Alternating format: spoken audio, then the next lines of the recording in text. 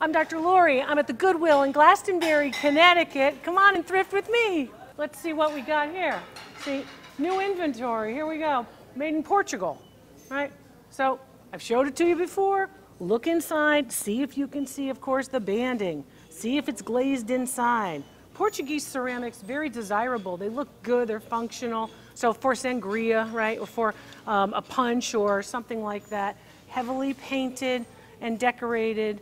It doesn't look like it's ever been used. I mean, this looks like new, and there's a lot of new things that actually come out. So what do they want for it? They want five. It's big, it's significant. They want five, I would say value on this 40. So that's a nice piece. It's newer though. It dates into the early 21st century, so the early 2000s. I'm not gonna put that up high because I think it's gonna get damaged. I'm gonna put that over here. And then this one, the other thing I don't want you to miss, you should be able to recognize, it's unfortunate See, you don't think, oh, it needs a lid, but you see the decoration around here? That silver decoration means that it did not have a lid. Two handles means that this is a sugar bowl, and it never had a lid because you have the decoration there, which completes the piece. This is Homer Laughlin, American American Sugar Bowl. Now it's damaged, and you're saying, well, it looks like it's not chipped or cracked. The damage is in the discoloration in the bottom. So you see the bottom of this base and you're seeing discoloration at the bottom of the base. So that's damage. Um, what do they want for this? They want a dollar. A dollar is good. What is it worth? It's worth about four. Here's some Homer Laughlin pieces. Uh, looks like some of them are the same uh, type. Here's more Homer Laughlin. So American pottery, everybody had this. This is sort of the everyday china that everybody had in the 1950s um, that particular set. Eh, it's in okay shape, not great shape. It's been used, you can see it. So I'd probably pass that by unless you get a really good deal. Um, and a dollar a piece is not a great deal. But maybe you can get it on coupon day. I don't, know, I don't know, you know, senior day or coupon day, something like that. Uh, what else do we have? Well, straight out and out in the open, Limoges, St. Martin's. St. Martin's, Limoges, for a buck. So it's new, but it's nice. Unfortunately, they put the label right on top of the decoration. But this, these are nice. These are dessert plates, and there's four of them. And they look like they're in nice condition. One, two. So three of them, I think, are the same. And then the fourth one is different. Right? Have I got that right? Yeah. All right, they're a dollar a piece. They're worth, they're worth 12 a piece for St. Martin plates like these the resale market. So these are really pretty good. I like the blue. I don't think they're anything special. When you pick them up, you could tell these are not anything special. Right here, you've got some nice hand-painted saucers. That one is Bavarian. You can see that one. Uh, early 20th century designs. I'm going to keep digging. There's a blue-white. Ah, I like the blue-white. Look at that. That's nice. That's a nice piece. Look at that. So you've got this one, which is obviously Staffordshire, England, because of the transfer ware. But look at the decoration.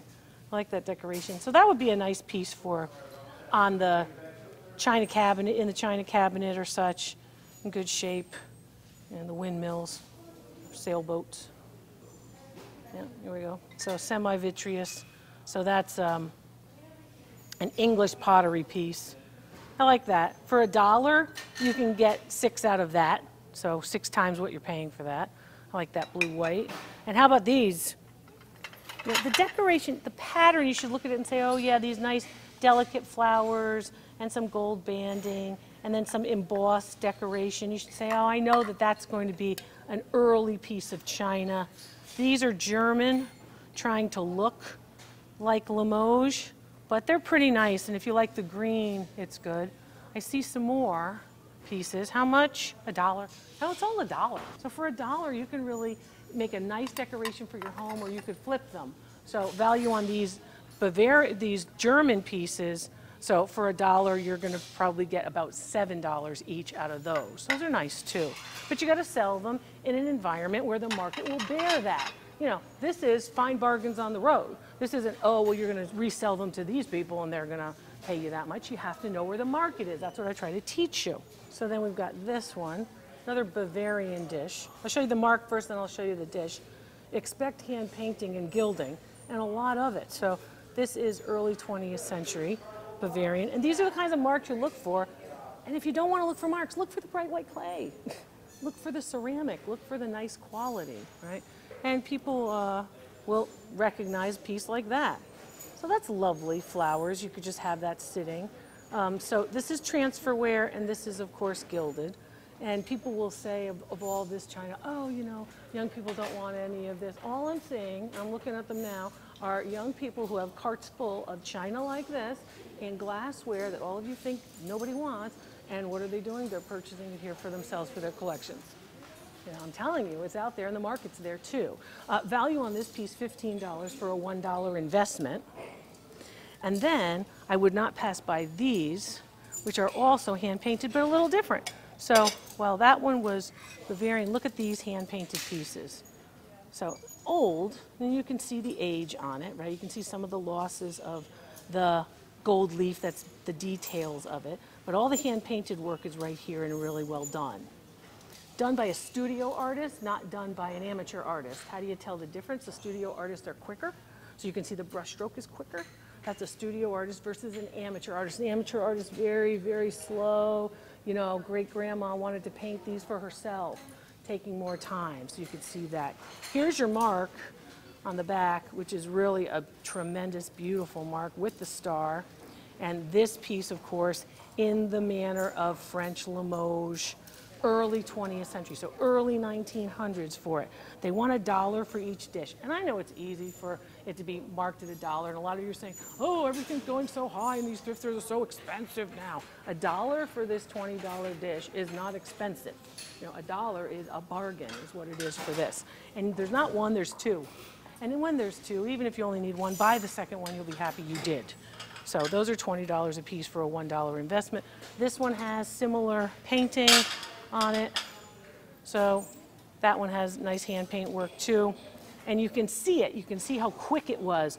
Look at where the, this is where the paintbrush touched, where the green, where the dark green is, is where the paintbrush touched the actual ceramic, and then it moved, and the movement is the lighter portion. That's done really quickly, because they gotta paint a lot of them. So they're painting them pretty quickly. So all you people think that you can't find a bargain, there are no bargains here. What just transpired before I got to this table was a person looked at this table, took some pictures, tried to get it on Google, Google Images, looked it up, saw, oh, gee, doesn't think it's worth anything, and walked by it. Okay, it's $12. They want $12 for this 1980s.